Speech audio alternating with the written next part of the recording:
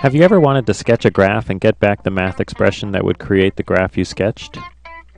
Have you ever wanted to drag a graph around and see the math behind it update? With Sketch to Graph, you can. Sketch to Graph is a new app available in the Apple App Store. Here's how it works. First, draw a graph.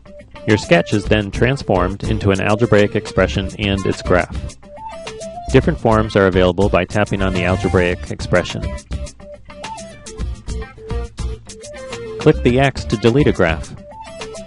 Click the pen button to draw another graph. It can be instructive to manipulate a graph and observe how the algebraic form changes. Here I can see how dragging a parabola horizontally affects only one value in the vertex form of a parabola. And here I can see how changing the horizontal radius of an ellipse changes the math. These are just two examples, there's much more you can learn. We hope you'll enjoy learning with Sketch to Graph.